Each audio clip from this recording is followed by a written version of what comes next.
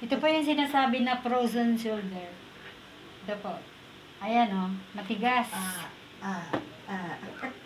Ah, ah. Matigas siya o. Tingnan niyo yung mga lumalabas na pula. Ito po yung lamig. Kaya po naninigas na o. Ayan o. O. Yan. Ah.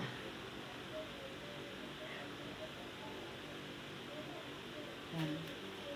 Pag ganito pong katigas, wag nating ipus kaagad, wag natin ihilot kaagad. Kailangan po palalambutin natin ng ganito. Massage lang, konti. Bago nating ipus na ganito. Para po hindi ma, ano yung ugat. Hindi mapwersa yung ugat.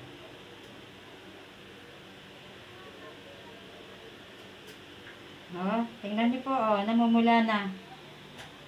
Yan niya po yung lumalabas na lamig. Ayan. Hindi pa rin ako makapag-release ng mga marinig. Direct ka lang ng aray. Pigil na pigil. Ah, ah.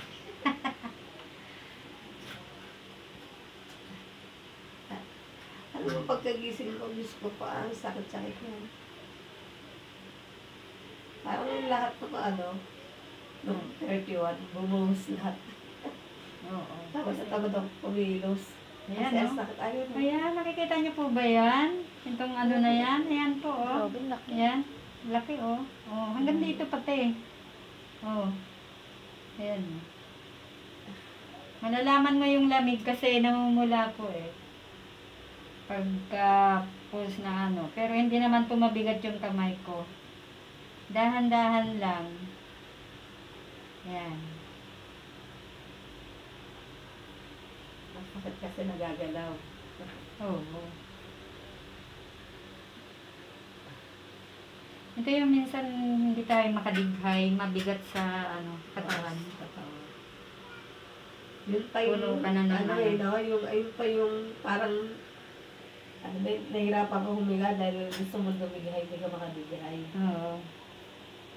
Madali lang naman yun. Meron tayong ginagawa sa dito, sa palad. Alam nyo lang kung saan banda yung ano na yan, para makadighay ka. Kailangan po natin i-post yung mga ganito.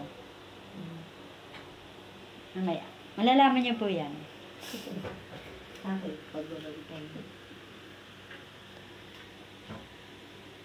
Thank you po for watching.